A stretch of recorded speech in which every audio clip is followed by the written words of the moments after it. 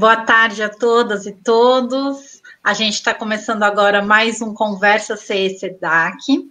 A gente tem feito essas conversas toda quarta-feira, às 17 horas, no Facebook do SEDAC, para apoiar gestores e profissionais da educação em geral, nesse período principalmente, né, com questões tanto mais específicas do período de pandemia, de isolamento, quanto com questões mais transversais, como foi a da semana passada, que a gente falou sobre a arte, né? É, hoje a gente vai conversar sobre é, a reorganização do calendário escolar, o que pode e deve ser antecipado.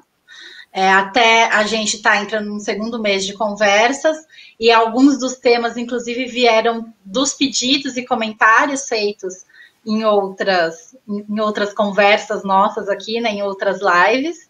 Então, acompanhem, marquem na agenda já, toda quarta-feira, 5, para acompanhar aqui. A gente sempre divulga antes, tanto o tema quanto os convidados ou as convidadas.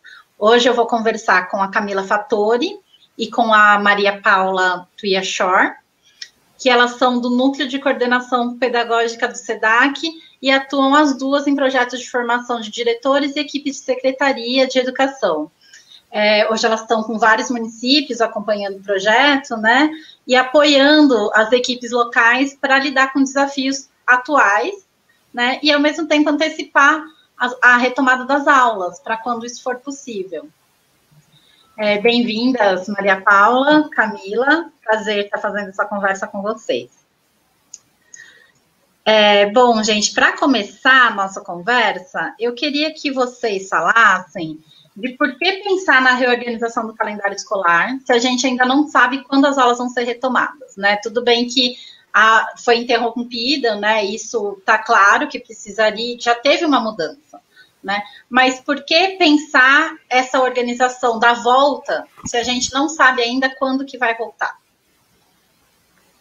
Ótimo, boa tarde para todas vocês que estão aqui comigo, a Emily, a Maria Paula e também para quem está assistindo, um prazer. É bem importante essa pergunta, porque pode parecer um tanto estranho, né, a gente falar, até tocar um tema de como planejar a reorganização do calendário, retorno das aulas, se a gente não tem a perspectiva de quando essas aulas vão ser, as atividades presenciais vão ser efetivamente liberadas. E quando a gente vê todas as notícias em relação à pandemia, o momento que nós estamos, que de fato é de, é, de prioridade da, é, da vida, né, mediante o isolamento, então pode parecer um pouco estranho até o tema, mas é importante a gente considerar que o planejamento da gestão pública ele precisa sempre anteceder, né, os fatos. Então, embora nós não tenhamos ainda a perspectiva do dia em que vamos voltar, talvez nem do mês em que nós vamos voltar às aulas, os gestores das secretarias, os gestores das escolas, os professores, eles já estão ao mesmo tempo que dando conta desse momento agora, desse momento atual em que os estudantes não estão presencialmente nas escolas e pensando em como fazer a manutenção desses vínculos, como fazer, garantir aí algum tipo de aprendizagem também nesse momento, mas o outro pezinho está lá pensando na frente já em tudo que ele precisa considerar nesse planejamento.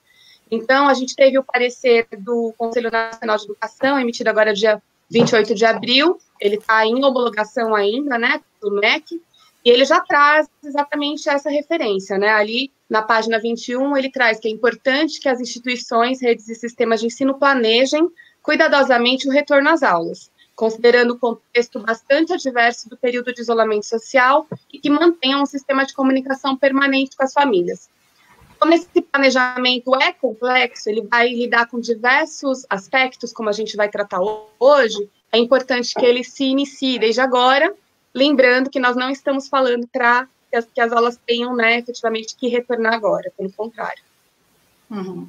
Não, com certeza, né? De, de maneira nenhuma, o objetivo dessa conversa é falar que as aulas têm que voltar logo, né? Falar que as escolas têm que abrir, então vamos reorganizar e voltar para a escola agora. É, é o contrário, por isso a gente colocou que pode deve ser antecipado né? E essa antecipação passa por várias, por várias questões, né? É, é, Camila, você falou do parecer, né, do Conselho Nacional de Educação. A gente até preparou um link encurtado para quem quiser acessar, logo o link vai aparecer na tela. É, e nesse parecer tem orientações para as redes de ensino quanto à organização do calendário, né? É, mas tem, ele é bem longo, né? Tem muitos pontos ali, como eu disse, porque é realmente uma coisa que passa por várias questões.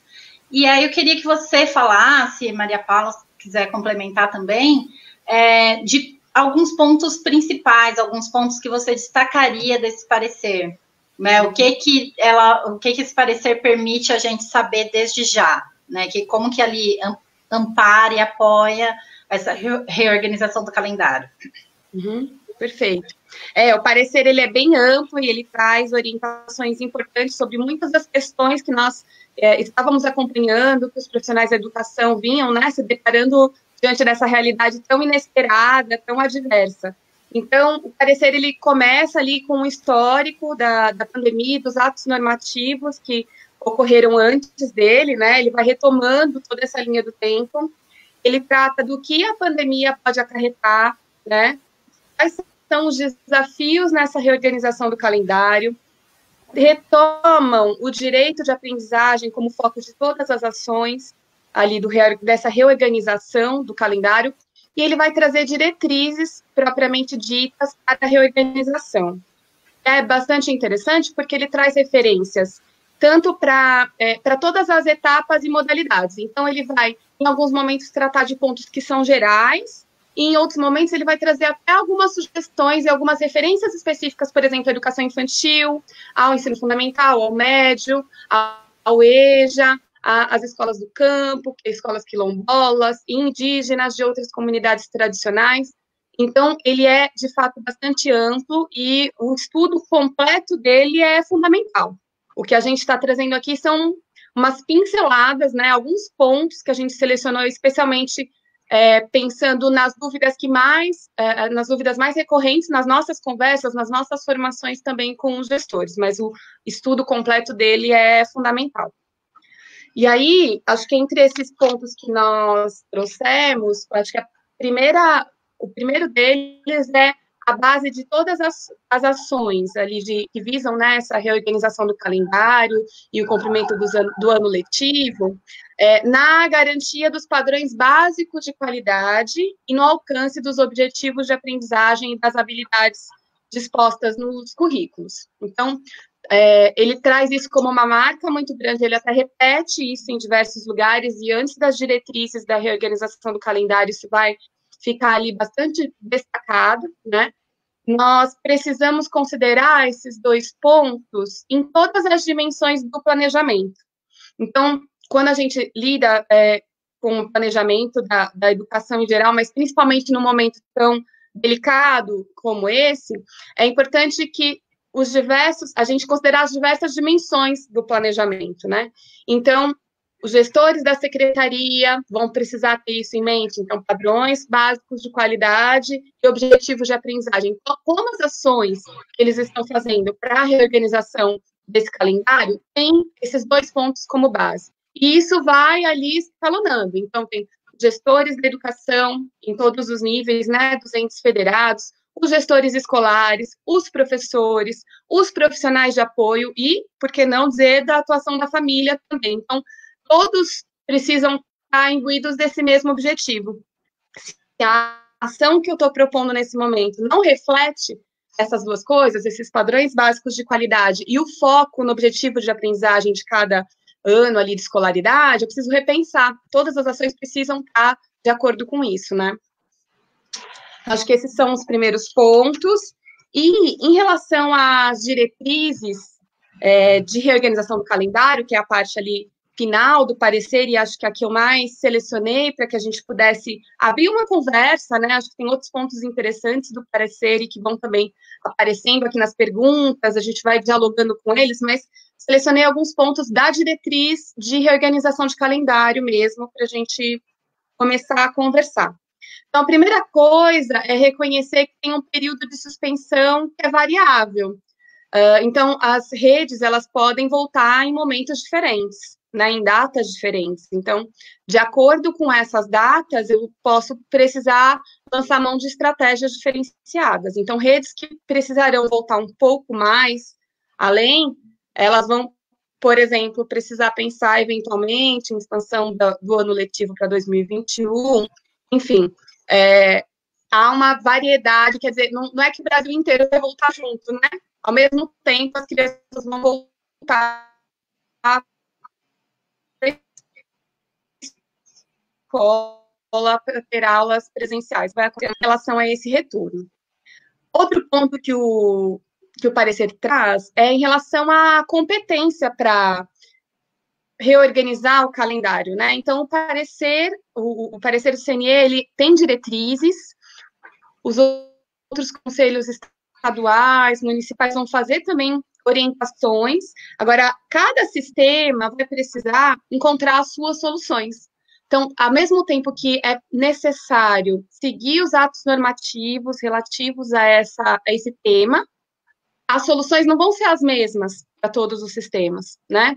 Isso, mais uma razão para que o planejamento ocorra desde agora, exatamente para que a gente possa contemplar a especificidade de cada localidade, de cada rede ali naquelas decisões, tanto nas decisões macro quanto no detalhamento dessas decisões que vai implicar, que vão implicar na vida desses estudantes, desses professores, dessas famílias, né?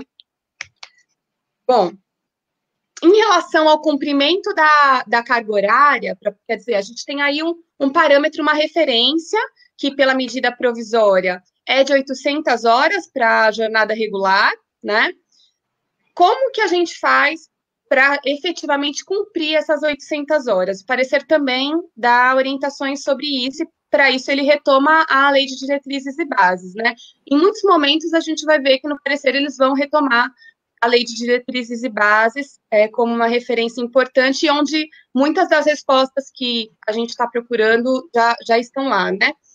Então, como cumprimento efetivo, é, o parecer traz a possibilidade de se contar as horas presenciais, tanto as que foram realizadas antes da pandemia, quanto as que vão ser realizadas depois, e também as atividades não presenciais, as atividades pedagógicas não presenciais. E aí nós temos a possibilidade de contabilizar as atividades pedagógicas não presenciais que foram enviadas aos, aos estudantes e da qual os estudantes estão efetivamente participando no período da pandemia, e também pensar na reposição das horas por meio de algumas atividades não presenciais. Então, isso é interessante porque não está se pensando nas atividades não presenciais apenas no momento em que não tem aulas é, presenciais, onde os meninos, não, os meninos e meninas não estão efetivamente na escola. Também há a possibilidade de se pensar atividades para depois do retorno, o que é muito interessante, porque daí os professores e as professoras vão poder, inclusive, fazer um acompanhamento ainda mais próximo dessas atividades e do, do da efetiva participação e aprendizagem, né, dos estudantes. Para que se conte essas atividades não presenciais do momento da pandemia, é bem importante considerar que tem uma, regula uma normatização, uma regulação local. Se não houver uma regulação local, essas atividades não podem ser contadas, mesmo que elas tenham sido disparadas pela secretaria. E aí o parecer vai trazer uma série de referências para dizer o que é preciso considerar dessas atividades não presenciais para que elas sejam realmente consideradas, né, dentro do, do cômputo de horas letivas. Então, desde o alinhamento delas com os objetivos de aprendizagem, da possibilidade da maior parte dos estudantes e das estudantes participarem. Então, tem uma série de referências ali que podem ser consideradas na formulação dos atos aí normativos locais que vão garantir essa, essa normatização de, de, desse, desse ponto que é tão né, sempre que a gente está aí nas lives, tem muitas questões a respeito dessas atividades não presenciais nesse momento. Então, importante considerar o que está escrito lá para poder pensar nessas normatizações locais. Um outro ponto que o parecer traz e que também precisa ser é, melhor esclarecido conforme cada localidade for fazendo as regulações é a possibilidade do retorno gradual. Então, ele não fala é, é gradual em relação a quê? Né, em relação a algumas escolas, a alguns estudantes, a algumas etapas, mas ele abre uma porta sobre uma possibilidade de retorno gradual, e é claro que isso precisa ser é, discutido em cada localidade bastante é, de, de uma forma bastante detalhada, e como em tudo, ouvindo diversos atores da educação, porque eventualmente existem propostas que vão aparecendo de retorno gradual e que algumas instituições, alguns grupos começam, enfim, a se manifestar a respeito delas algumas delicadezas, né? Mas o conselho, o parecer trata desse retorno gradual. Ele fala também da importância de se lançar mão de estratégias de acolhimento para as famílias, para as equipes, para os estudantes, nesse retorno. Então, nós sabemos que é, é um retorno de uma situação totalmente inesperada, né, de uma pandemia com diversos, é, diversas consequências, inclusive de, de, de morte de pessoas conhecidas, né? Mas também outras como situações de privação, até por conta do, dos, das consequências econômicas dessa pandemia, e, enfim, toda uma, uma situação de delicadeza dos estados emocionais. Então, é muito relevante que se coloque nos planejamentos desse retorno, dessa reorganização do calendário, também essas estratégias de acolhimento da equipe, inclusive, né? Para que essa equipe possa ter condições de receber bem os estudantes, as famílias, porque a equipe também pode estar com questões ali similares à dos estudantes. Uh, outro ponto bastante conversado em termos de dúvidas e que ali o parecer traz algumas definições, algumas definições não, mas algumas referências para que se possa pensar é a importância da avaliação diagnóstica no retorno desses estudantes. Então, nós vamos. As, as redes que lançaram mão de atividades não presenciais, há uma grande preocupação em relação à equidade. Quem, de fato, teve acesso a essas atividades, se teve acesso, como é que foi a participação, né? Se participou, qual foi a efetiva aprendizagem daqueles conteúdos que estão ali?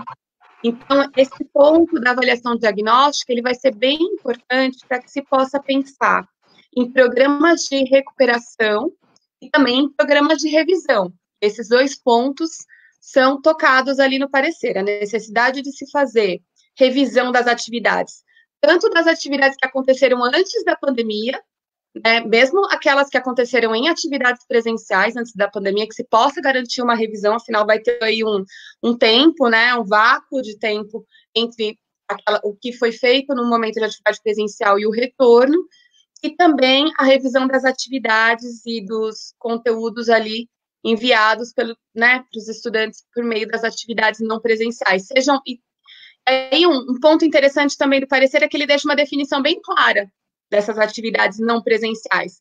Né? Tem uma, uma definição bem completa e deixa claro que são as atividades mediadas ou não por tecnologia.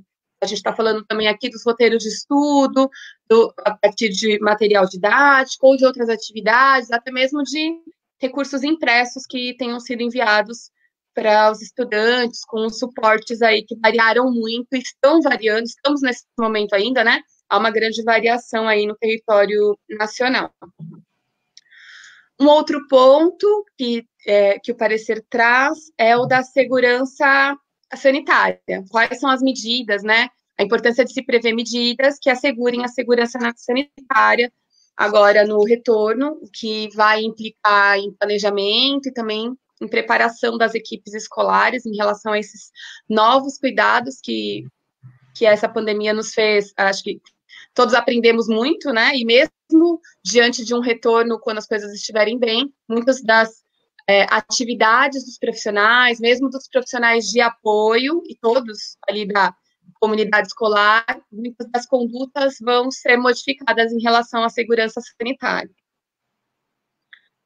Bom, ele trata também da sistematização da necessidade de se sistematizar e registrar as atividades não presenciais, tanto em relação às expectativas de carga horária dessas atividades, para poder chegar a esse cômputo de horas do, do ano, né? Entender, eu, eu enviei é, eu enviei roteiros, eu enviei sequências, eu enviei atividades, videoaulas, mas de quantas horas nós estamos falando? Quanto isso representa nessas, por exemplo, 800 horas da jornada regular, 1.400 da jornada ampliada, enfim. É, o que, que, isso representa em termos do cômputo de horas e quanto de, quantas dessas horas efetivamente cada aluno pôde é, realizar. Então, existem aí esses dois cálculos que as redes também vão precisar, acho que é, já estão fazendo, né, modelos aí de acompanhamento, de participação, que são bastante desafiadores para que se possa entender é, o quanto cada estudante é, participou ou não de cada atividade, né. Uh, e um ponto também da avaliação que eles trazem. Então, além de ter um, tem, um subtítulo específico sobre as avaliações nacionais, que era um ponto que muitas pessoas estavam preocupadas. Então, o conselho, claro que o conselho não tem a competência de decidir sobre essas avaliações é, externas, né, essas avaliações nacionais, mas ele traz ali uma indicação de que se possa considerar é, a especificidade desse ano é, em relação ao cronograma das avaliações nacionais. Mas, na definição dos calendários, da, nas diretrizes para a reorganização do calendário, eles trazem que é importante que as redes possam ter critérios e mecanismos de avaliação que considerem o que efetivamente foi realizado, o que pode ser realizado. Então, a gente está num, num, momento em que nós não sabemos certinho o dia que volta. A depender de quanto tempo isso levar, é possível que as redes possam ter que olhar para os seus currículos e ver quais são os objetivos de aprendizagem, as habilidades que eles efetivamente vão dar conta nesse ano, quais são aqueles que vão ter que ser retomados no ano que vem. Aí, obviamente, as avaliações dos estudantes precisam ser feitas em cima do que efetivamente pode ser feito, para que os estudantes também não sejam prejudicados nessa avaliação. E, por último, um ponto importante que é, selecionei é em relação à carga horária, porque há um momento no, no, subtítulo da educação infantil em que o CNE retoma o artigo 31 da Lei de Diretrizes e Bases, que traz a possibilidade de se considerar como frequência mínima da educação infantil 60% de carga horária obrigatória.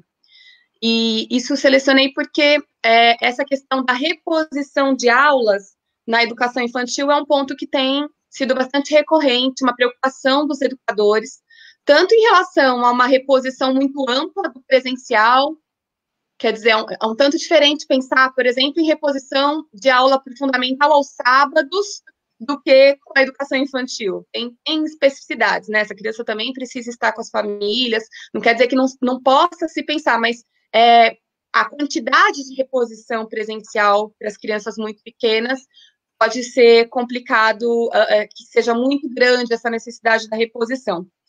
E, ao mesmo tempo, as atividades não presenciais com crianças pequenas também têm toda uma, uma especificidade ali e uma dificuldade de poder chegar. O próprio parecer fala da dificuldade de se chegar a esse número, a essa métrica de aferição de uma atividade não presencial para educação infantil. Então, observar essa questão da frequência mínima na educação infantil pode trazer uma possibilidade real de flexibilização ali do cumprimento do dia letivo, né? Então, o Conselho Nacional, embora ele não, de forma alguma, reduza a carga horária, a carga horária mínima que está valendo é a da medida provisória de 800 horas, mas ele traz esse artigo da LDB que pode ajudar aí a pensar no planejamento da educação infantil. Então, enfim, são os pontos que eu selecionei para a gente começar Sim. a conversa. Muito bom, Camila, obrigada. É, eu fui até anotando aqui algumas coisas também e já vou é, incluir alguns comentários e perguntas que vieram enquanto você falava. É, Para quem chegou um pouquinho depois, né, a gente está nessa conversa de hoje, a gente está falando de reorganização do calendário escolar é, e pensando não em que as aulas voltem o quanto antes, mas do quanto é importante estar tá planejado, né? E a gente vai falar mais para frente, inclusive, é, de, de cenários e possibilidades. E a Camila estava comentando alguns dos pontos, né? Não, não é todo, o parecer do Conselho Nacional de Educação, que está até na tela um, um link para acessar ele. Né, ele está disponível online, a gente fez esse link menorzinho para facilitar, que é o bit.ly com Y, barra parecer 5 2020, né? É o número do parecer esse, CNE, de Conselho Nacional de Educação. É, e aí, alguns dos pontos pelos quais a, a Camila passou agora, né, ela até comentou né, no começo de, dessa, dessa análise, desses pontos que ela passou, sobre reconhecer o tempo da volta, que provavelmente vai ser diferente, né? A gente até é, na, no Facebook, no Instagram da comunidade educativa SEDAC, a gente divulgou um vídeo com, com a Cleusa Repúlio, especialista em gestão, né? É, em que ela fala justamente isso, que ela fala do quanto é importante é, criar esses cenários e pensar, planejar a volta, mesmo sem saber quando vai ser a volta, né? Então não é pensar uma forma, é pensar algumas formas disso acontecer e que também ela fala disso, de voltar em tempos diferentes, né? Que é muito possível que com o tamanho do Brasil, é, os municípios não voltem todos ao mesmo tempo, né? E não voltem todos da mesma forma. As redes, como a Camila falou que no parecer tem é, especificidades de escola rural, de comunidade quilombola, né, de EJA, tem uma série de, de variações, né, desde a educação infantil até o EJA, enfim. É, e aí, alguns, do, alguns dos pontos são que a Camila passou foi o retorno, o possível retorno gradual, é, a revisão das atividades, né, tanto do que foi antes, do que foi durante e do que vai ser depois, a segurança sanitária, que também está contemplada no parecer, a sistematização e registro, isso inclusive pensando na carga horária, isso também pensando desde já, né, não é pensando numa coisa só para quando as aulas voltarem, na avaliação e também nesse possível ajuste de carga horária que consta lá, né, é, retomando a LDB, de que na educação infantil a, a presença pode ser considerada de 60%, então está reduzindo a carga horária, mas sim se valendo de algo que, que é previsto, né, que é prevista já essa possibilidade. É, eu, eu quero dar um destaque aqui para um comentário da Ruth Pereira, que ela falou isso mesmo, Camila, cada território vai encontrar o caminho para minimizar as inúmeras situações causadas pela pandemia. O que não pode é cruzar os braços. O direito de aprendizagem precisa ser assegurado, né? É, e também outro ponto que a Camila passou e que aí tem uma pergunta é sobre o acolhimento. Então, a, a, Camila falou da importância do acolhimento, né? A, quer dizer, não é nem que a Camila falou, isso está no parecer também, mas foi uma das coisas que a Camila destacou, do acolhimento, e que esse acolhimento não é só pensando no acolhimento dos alunos, né? Como em qualquer volta às aulas. É também o acolhimento da equipe, é pensar no acolhimento da família, né? E aí a Ângela Luiz Lopes perguntou. Essas questões do acolhimento precisarão aparecer nos PPP das escolas e currículo da rede? Vocês uhum. sabem dizer sobre isso? É, é importante dizer que uh, os, os, os, projetos político-pedagógicos, eles vão ter que ser é, atualizados, eles já vinham sendo atualizados por conta dos currículos novos à luz da base, e algumas especificidades dessa situação vão fazer também com que eles sejam modificados. Em relação ao plano de ação do ano, por exemplo, então, essas estratégias de acolhimento que não eram previstas inicialmente no plano de ação, ou que eram previstas de uma forma muito mais é, simples, né? Porque era o acolhimento inicial. Antes de tudo isso acontecer, se pensava em que tipo de acolhimento? O acolhimento das crianças é, que voltavam das férias, né? Então, as ações eram ações, se tinha, se é que tinha no plano, eram ações mais tímidas. Agora, isso vai ter que ser pensado de uma forma mais ampla e mais estratégica. Então, o plano, o projeto político-pedagógico também vai precisar prever essa questão das atividades não presenciais nos locais que é, fizeram uso dessa, estão fazendo uso dessa, desse recurso agora, no momento do, da pandemia, e também no caso de um retorno, se eles lançarem mão de atividades não presenciais, o projeto político-pedagógico também vai ter que constar uhum. é, essas atividades. Ah, legal. É, e Maria Paula, né, no começo eu falei que vocês atuam em vários municípios, né, pelo Brasil. É, nos municípios que você acompanha, quais têm sido as principais dificuldades, desafios para pensar essa reorganização, né? Porque a gente sabe que vocês já estão apoiando é, esse processo, mas quais são os principais desafios e dificuldades que estão encontrando e que pode, inclusive, ser que outros municípios também estejam passando por isso, né? E como que as redes estão se preparando para enfrentar isso, né? Que soluções estão sendo criadas? Então, acho que é, o parecer, como vocês falaram antes, ele é longo porque ele cuida de tudo isso que, tá, que, que os municípios estão passando. Ele tenta é, ajudar os municípios, amparar os municípios em todas as, as dificuldades que eles possam enfrentar. Então, acho que é, do que eu tenho acompanhado, acho que o primeiro desafio é mesmo em relação ao tempo, tempo que vai se prolongar sem aulas, né? Então, elas tiveram, as redes praticamente todas tiveram mais ou menos é, o mesmo tempo antes da interrupção, interromperam mais ou menos no mesmo período, né? E a partir daí, os encaminhamentos foram diferentes. Então, algumas redes paralisaram o atendimento é, e depois deram recesso ou férias para os seus, seus professores, né? E aos poucos, essas redes elas foram se organizando para começar a realizar o atendimento a esses alunos, principalmente com o objetivo de continuar próxima e não perder o vínculo. Então, esse processo foi um pouco diferente em cada uma das redes. Né? Quando elas iniciaram, de fato, os atendimentos, né, o atendimento remoto aos alunos, enviando atividades, ou então é, deixando, é, ou por, por meios virtuais, ou impressos mesmo, como a Camila falou, elas não sabiam ainda exatamente como é que essas atividades iam se converter em horas previstas, né? Eu acho que isso ainda é uma, uma, uma incógnita para eles. Mas eu acho que houve essa preocupação de começar a enviar para que esse vínculo é, se mantivesse. Né? Nesse momento atual, os municípios, alguns já iniciaram, então, a, a, a revisão né, e o estudo desse novo calendário para reposição. Né? Como a Camila falou, a gente, é importante a gente ter diversos cenários. Então, para isso, eles estão, considerando é, os dias que já foram cumpridos antes do, da, da, da, da, paralisação, né? É, os dias que efetivamente eles estão parados, ou com férias ou com recessos, né?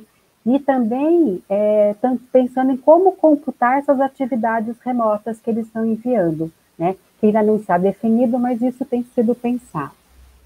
É, o que eu tenho visto também é que no retorno, é, eles consideram, exemplo, tem redes que consideram é, converter é, os pontos facultativos que eles teriam, emendas de feriados, por exemplo, em dias letivos.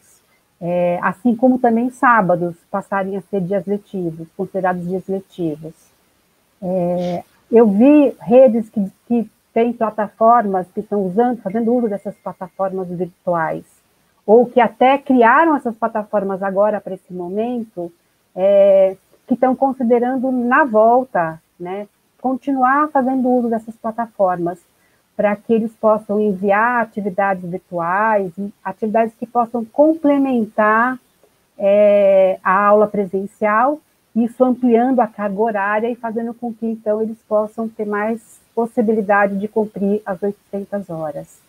É, também é possível que algumas redes entrem em 2021, por exemplo, nas férias, né, para complementar o ano de 2020.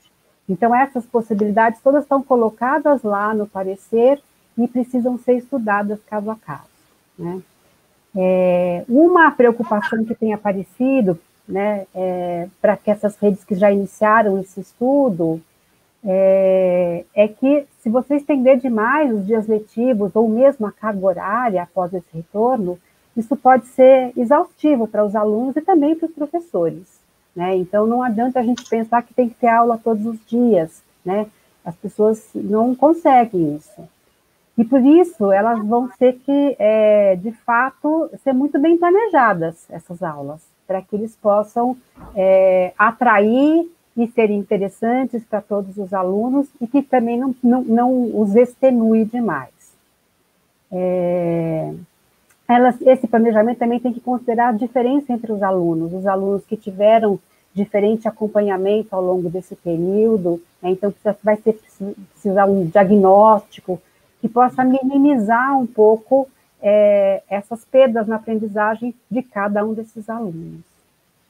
Também, eu acho que uma coisa que tem se considerado é uma reorganização é, na própria didática mesmo, né? Acho que além dos conteúdos que vão ser essenciais, também na forma de trabalhar esses conteúdos. Por exemplo, trabalhando com projetos, então acho que vai precisar uma revisão e essas redes já estão se preocupando com isso.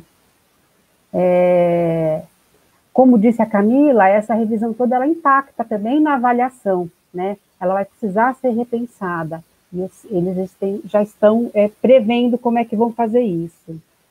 É, e, e, claro, aproveitando muito para isso, para pensar isso conjuntamente, os momentos de formação com o professor, para que eles possam pensar juntos nesse planejamento e nessa avaliação depois. Né? Então, a importância de envolver toda a equipe nessas discussões. Uh, uma rede que me trouxe uma preocupação específica, por exemplo, com alunos do Fundamental 2, né?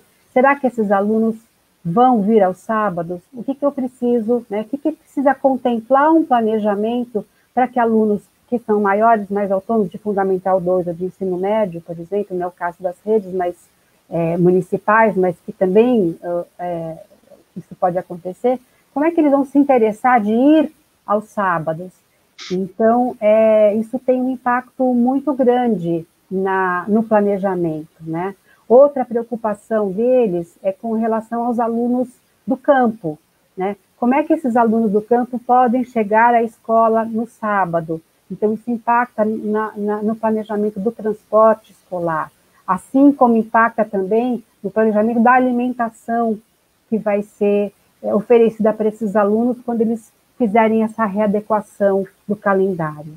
Então, tudo precisa ser considerado é, na hora que eles forem planejar. Né?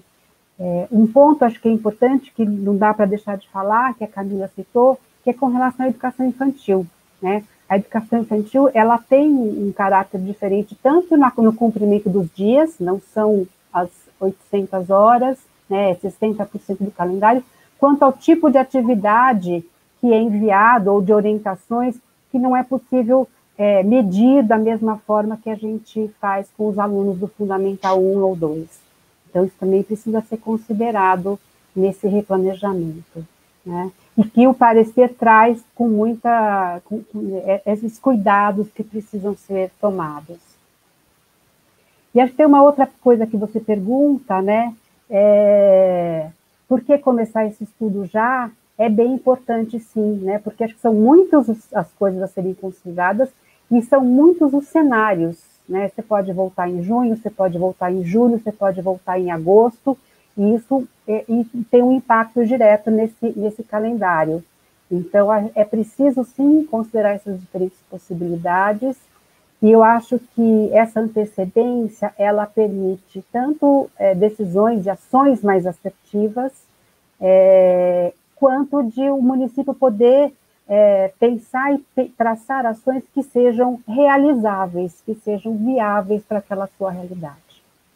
Então, acho que, de uma maneira geral, que são os, os maiores desafios que eu tenho visto nas conversas com os municípios. É muito bom, Maria Paula. É, isso se conecta bem, né? É bom ver na prática, assim, os municípios que já é, que já estão nessa, já estavam né, nessa lida e como as coisas se relacionam né, com o parecer, até inclusive uhum. relembrar que o parecer ele é, não está homologado ainda, né, mas ele já dá um bom panorama, como a Maria Paula disse, dele ser bem detalhado e, e cuidadoso, atencioso, né, a, e a Camila passou por alguns dos pontos, mas é muito importante que gestores é, vejam o parecer completo e estudem dentro da própria realidade. Né? É, e aí o, o, parecer ele dá um, ele assegura assim, um ponto de vista formal para as redes, né, para caracterizar esse calendário escolar nesse ano que foi muito atípico, está sendo muito atípico, né? É, mas para essa volta às aulas acontecer da melhor forma possível, é, o que, que as secretarias de educação devem levar em conta, né? Esses cenários, como a Maria Paula falou, de talvez pensar numa volta em junho, numa, numa volta em julho, numa volta em agosto, como que seria, como que vai considerar a, os a carga horária, né, que vai distribuir, como os exemplos que a, que a Maria Paula deu de estudos dos municípios que ela é, acompanha, de pensar em no uso dos sábados, de pontos facultativos, emenda de feriado, de continuar usando a educação à distância para complementar a carga horária, né? Então, quais são os cenários para considerar, né? Que, que, quais as possibilidades de cenário para considerar no meio de tanta incerteza? Uhum. Ótimo. É só um ponto que eu lembrei é, de que o, dizer que o parecer também é tão cuidadoso e tão completo, porque ele passou por uma consulta pública, né? Primeiro foi emitido um texto de referência, houve um período de é, consulta pública, e quando a gente compara os dois textos, a gente vê a importância desse movimento de consulta pública, porque tem pontos que foram melhor detalhados, então ele não, não muda completamente, mas ele tem tem algumas coisas a mais ali, tem algumas coisas mais detalhadas, então acho que esse movimento foi bem importante para enriquecimento desse conteúdo, né, que a gente, de que a gente está tratando agora. E em relação aos diferentes cenários, como a Maria Paula falou, as secretarias, é, as redes, né, os sistemas estão se preparando, precisam se preparar e estão se preparando para as diferentes possibilidades que nós temos. Então, em caso de retorno em julho? Então, a gente passou por um momento em que a gente já falou de retorno em maio, a gente passa por alguns momentos que se fala em junho, agora a gente já pensa, ah, como que é retornar em julho? Como que é retornar em agosto? Nós não temos ainda essa data. Mas uma certeza é que é muito diferente, por exemplo, retornar em julho e retornar em agosto. Quando a gente vai ali a ponta do lápis e vai ver como, como conseguir essas 800 horas no nosso calendário, a gente vai observar que as estratégias de reposição vão ter que ser diferentes e que talvez em um cenário a gente consiga, talvez, cumprir esse ano, é, ou em agosto já fica um pouco mais difícil cumprir o calendário letivo nesse ano, mesmo em julho, sem atividades não presenciais, a gente precisa possivelmente chegar em 2021, né? Então tem essa diferença que os especialistas também estão sempre trazendo nas lives, aí nos materiais, da diferença desse ano civil para o ano letivo, dessa possibilidade de chegar lá ao mesmo tempo, a gente também tem uma preocupação de não comprometer tanto o ano de 2021, né? Com certeza eles vão estar meio conectados, não só pelo calendário, mas também pela, pelo planejamento dos objetivos de aprendizagem que vão precisar, é, alguns deles serem retomados ou até mesmo serem deslocados, né, para o ano seguinte. Então, o primeiro cenário é a gente projetar diferentes datas de retorno e ver quais são as implicações em cada uma. Então, os exemplos são ótimos que a, da, da Maria Paula, porque ela traz, olha, uma decisão como ter aula ao sábado mexe com o quê? Mexe com transporte escolar, eu tenho que pensar estudante que vem do campo, mexe com alimentação escolar, mexe com equipe, o que, que tem ali nos meus nos documentos oficiais relacionados à equipe, a plano de carreira, né? Então, um, cada decisão que a gente toma tem uma, uma, uma complexidade de, de interferências. Se eu vou pensar na jornada ampliada, como é que fica a questão dos espaços da escola? Vai dar conta de todo mundo ali? Uhum. Então, fazer essas projeções para diferentes cenários é importante para que se possa olhar também é, tanto as possibilidades de reorganização quanto as questões orçamentárias. E aí, na, nas questões orçamentárias, a gente sabe também dos, é, das restrições que vão haver devido à, à, baixa arrecadação de imposto. Então, vai precisar de um esforço muito grande de todo mundo para poder a gente conseguir alcançar todas as condições que esses estudantes vão precisar para aprender. Se eu já sei desde agora que eu preciso de algo, talvez eu não consiga no orçamento, ou eu posso fazer uma adaptação do orçamento junto com os órgãos competentes, os conselhos, ou eu posso buscar uma parceria, eventualmente, para conseguir algo. Então, esse tempo é o tempo que vai garantir que as condições estejam é, é, não perfeitas, porque a gente sabe que é bem complicado, mas o melhor possível para que esses estudantes possam retornar e lembrando daquele foco na, na, garantia de padrões de qualidade e dos objetivos de aprendizagem. Uma outra questão que vai ter que ser levada em conta é de que qual foi a forma de paralisação dos professores. Porque quando a gente fala em reorganização e reposição das, das horas letivas, a gente está falando de um quadro, uma equipe da né, equipe escolar, com, é, com as pessoas de apoio, mas também os professores. É, eu estou falando de ampliação de jornada, de reposição, sabe como que fica isso em relação aos professores? Eu dei férias, que, que, qual foi o, o ato legal que garantiu a paralisação naquele momento? Então, tem redes que deram férias, outras deram recesso como é que vai ficar a situação dos professores nesse ano? Eu vou precisar ampliar o meu quadro para dar conta dessa reposição? Se eu for ampliar meu quadro, eu tenho orçamento para ampliar? Quais são as formas previstas para ampliar esse quadro? Como que eu cuido, por exemplo, de professores que trabalham em duas redes e as duas vão precisar de reposição? Como que eu converso? Como que eu posso estabelecer ali um, um em regime de colaboração é, entre municípios, entre município e estado, para que se possa ter uma condição mais favorável de, é, de reposição, de programação desse, desse calendário escolar, considerando também esses professores que se dividem em duas redes. E só para lembrar que do ponto anterior, em relação ao orçamento, o planejamento em regime de colaboração também pode ajudar, né? E nesse momento que a gente vai ter que pensar em ampliação de alimentação escolar, de materiais pedagógicos impressos, eventualmente, de plataformas virtuais, pensar isso com um grupo de municípios e em colaboração com o Estado pode, pode otimizar recursos e trazer é, estratégias de maior qualidade técnico-pedagógica. Outro ponto que vai influenciar muito é se eu tive ou não as atividades não presenciais no, no momento da pandemia. Lembrando que nós só estamos falando aqui de atividades não presenciais regularizadas. Né? Se eu posso considerar essas atividades não presenciais no meu cômputo de horas total, isso vai fazer muita diferença no planejamento das redes é, e também das atividades não presenciais no retorno. Em relação a essas estratégias de reposição, nós falamos da importância de considerar a questão dos territórios, a Maria Paula também trouxe isso, né? Quer dizer, como que funciona para ir escolas do campo aos sábados, como que funciona, qual é a diferença das estratégias de reposição para as escolas urbanas e para as escolas indígenas, quilombolas, é, de periféricas. A gente prevê que possam existir, é, é muito possível que as redes tenham mais do que um calendário de, de reorganização do ano letivo. Isso é bem é, importante, porque a gente sabe que é mais desafiador tanto fazer o planejamento quanto fazer a gestão depois de como esses calendários vão se efetivar, mas se eu quero de fato atender o direito desses estudantes, né, de, de aprenderem, de terem as condições necessárias para aprender, eu preciso considerar as peculiaridades do local onde, dessas comunidades, desses territórios onde esses estudantes estão e onde essa escola está. Outra questão que se apresenta também, que pode gerar também mais do que um calendário, é a questão da etapa.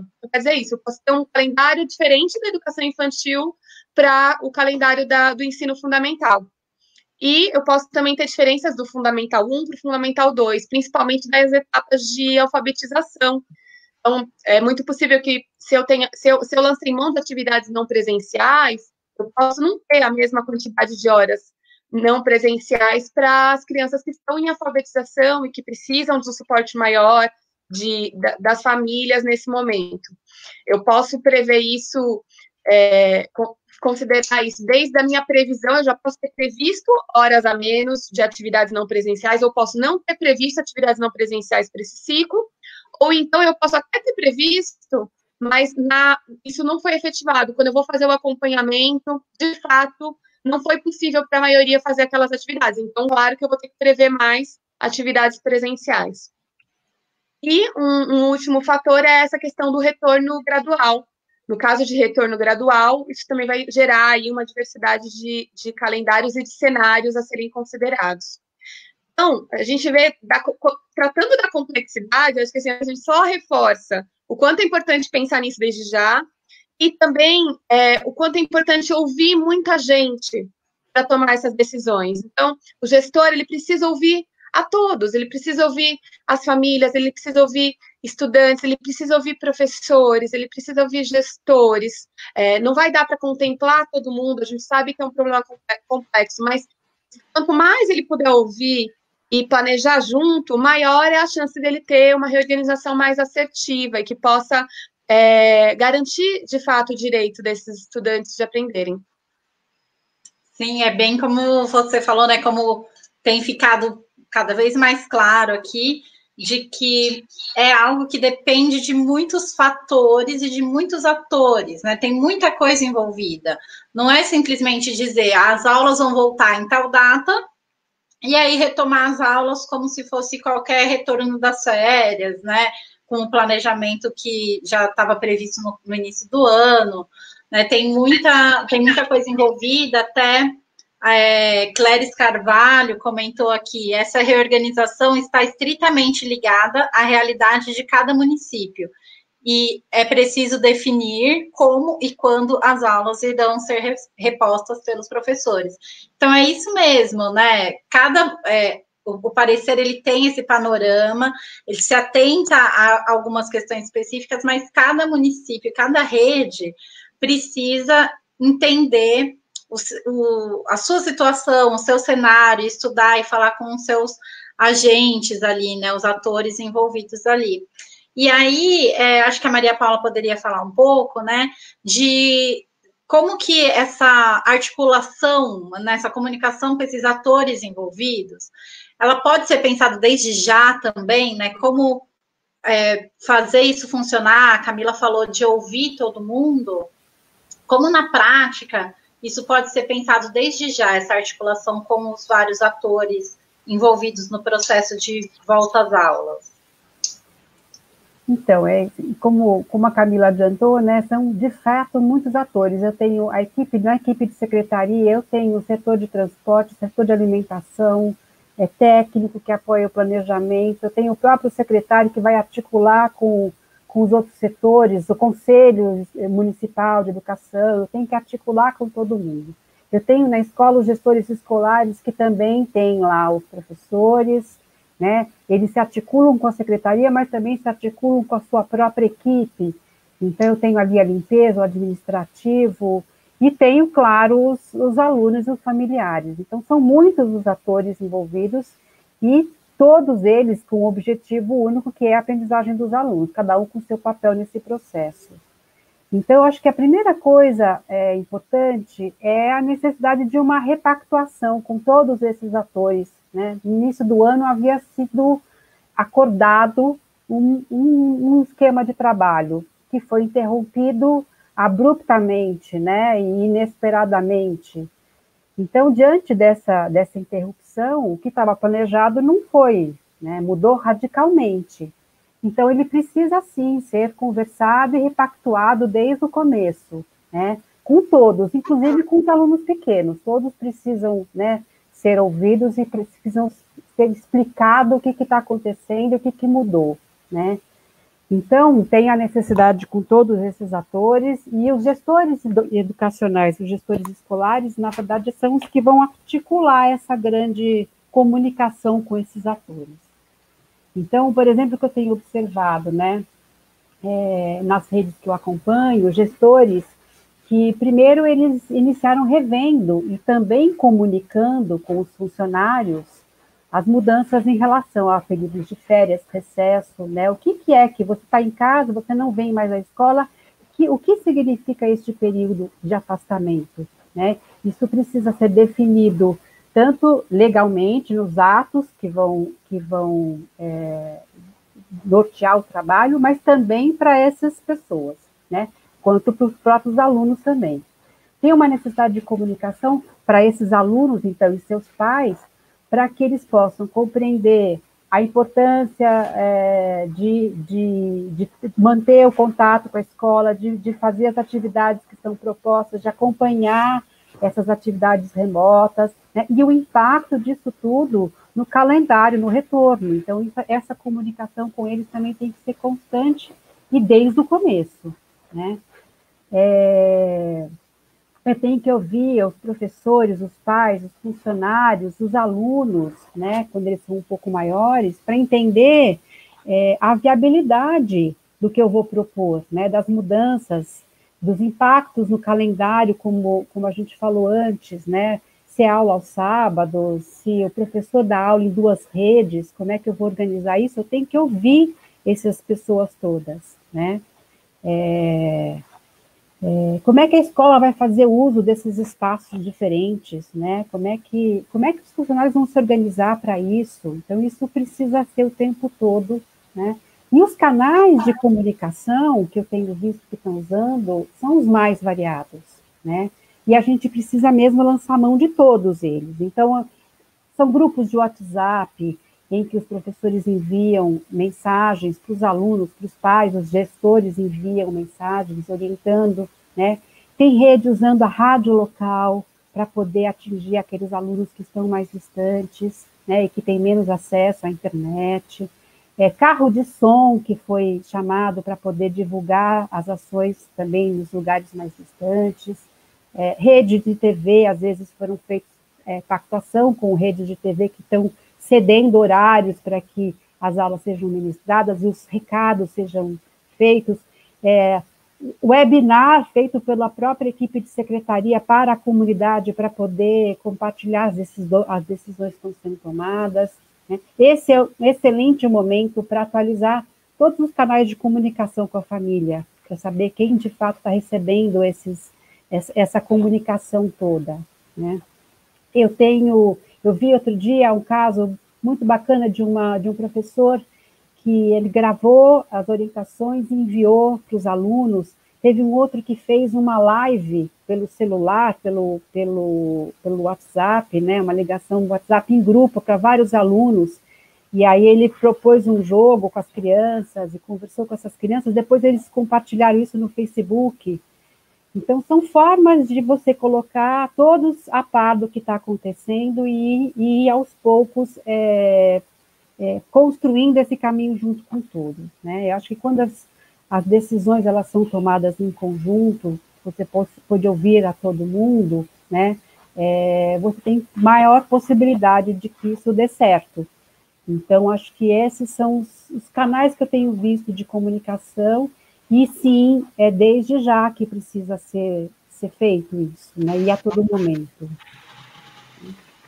É, é, é, justamente manter todo mundo envolvido, né? É uma coisa que é bem evidente também é a importância dessa coletividade e relembrar que a educação é feita por muitos agentes, né? Não é que nesse momento tem muitos agentes envolvidos. Uhum. A, a, educação é feita por muitos, inclusive a, as famílias fazem parte disso sempre, né? Sim. Ali com os alunos, com, com os estudantes. É, então, é relembrar isso e retomar essa comunidade escolar, né? Sim. A gente está chegando no fim já da nossa conversa, é, então, para encerrar aqui, relembrar o, o, parecer que a gente que pautou muito essa nossa conversa, logo ele aparece aí na tela de novo o link para acessar o parecer, que ele ainda não está homologado, mas ele dá um bom panorama e para ser repensado, né? Para ser repensado, não, mas para ser pensado essa reorganização do calendário para cenários de volta às aulas, né? Para antecipar cenários de volta às aulas. E aí, para a gente encerrar, uma última pergunta, é, até ligada a isso, né, de ser muitos fatores e, muita gente envolvida, e que cada secretaria, cada rede precisa entender o seu, o seu funcionamento nesse retorno, né, nesse planejamento de retorno, existem coisas que toda rede pode deve considerar nessa antecipação para reorganizar o, o, calendário escolar? Tem algumas diretrizes que são básicas, assim, né? Diretrizes no sentido de direcionamentos, de, de proposições que são importantes que toda gestão educacional fique de olho? Então, acho que muitas dessas que nós falamos aqui são é, orientações. É, é, bem importante que a gente lembre que essas orientações são do CNE, do Conselho Nacional. Então, a gente precisa ficar atento aos desdobramentos, sejam dos pareceres locais, dos estaduais ou municipais, que já tenham acontecido, como os que virão a partir desse parecer né, do Conselho Nacional. É, então, a gente precisa, a gente está falando aqui de algumas em nível nacional por conta desse parecer, mas tem outras especificidades. Então, pode ser que um conselho estadual, por exemplo, tenha um, um, um detalhamento ali de, de, do que eu vou considerar como atividade não presencial, ou em relação a alguma questão de, é, de reposição de aulas que não apareceu no Conselho Nacional. Então, é, as redes precisam estar muito atentas, e estão, pelo que a gente está acompanhando, assim, todo mundo está muito atento, chega uma orientação, eles já começam a circular entre eles, né? Todo mundo muito é, afoito e, e, querendo mesmo essas informações e querendo fazer tudo direitinho num cenário tão incerto.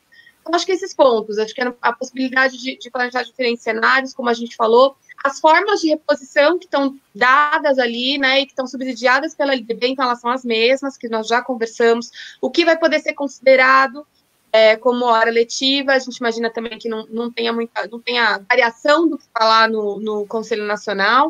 Uh, e aí o que, o que existe em termos de diversidade, então, é esse planejamento desses diversos calendários, o, o que cada rede vai colocar também como ação para viabilizar a implementação, porque nós estamos falando muito do ponto de vista do planejar, né? A gente sabe que planejar é um momento, é bem importante. Agora, para implementar, pode ser que eu tenha que lançar a mão de outras estratégias inicialmente não pensadas ou fazer ajustes ali no meio do caminho, porque o que eu pensei eventualmente para um território inteiro não, não, não dê conta. Então, eu estou ali, é, planejei aula no sábado, dois sábados, e ali não está acontecendo, as crianças não estão vindo. Como é que eu vou fazer, então, para assegurar o direito de todos esses estudantes? Então, acho que muitos desses pontos que nós tratamos aqui vão, devem ser acompanhados pelos outros conselhos e pelas decisões da rede, e tem essas necessidades aí de variações. Eu queria só complementar que eu acho que todas essas decisões, o que acho que deve reger, né, essas decisões todas, é de fato se a gente está conseguindo garantir os direitos de aprendizagem dos alunos. Então, todos esses cuidados são em função disso, né? O que, que eu preciso efetivamente trabalhar com eles, como que eu vou trabalhar com eles, para que esses direitos de aprendizagem sejam garantidos, apesar de todo esse contexto absurdo que a gente está vivendo, né?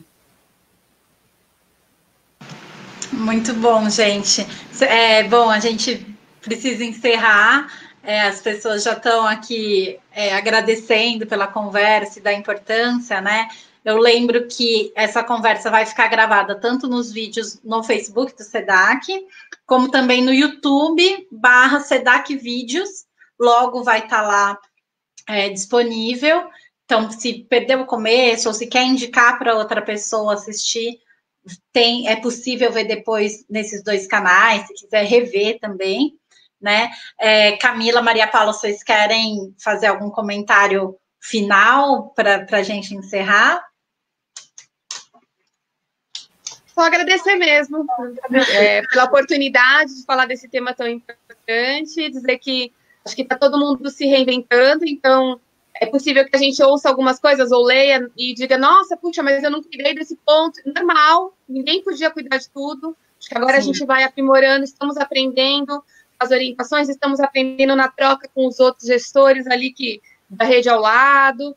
Então, agradecer e dizer para todo mundo ter bastante paciência consigo é. mesmo nesse momento. De fato, a gente está é, trocando pneu com o carro andando. Então, é.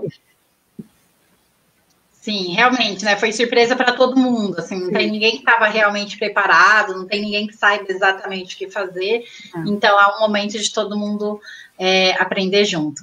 Então, é, Camila e Maria Paula, muito obrigada pela participação de vocês, assim, por trazerem tantos pontos importantes e apoiar essa reflexão, né? De, de, inclusive esse estudo de vocês, né, esse olhar de vocês sobre o parecer é, e também da prática, né, de trazer experiências das dúvidas, das soluções que os municípios estão criando já nessa antecipação, dessa reorganização do calendário.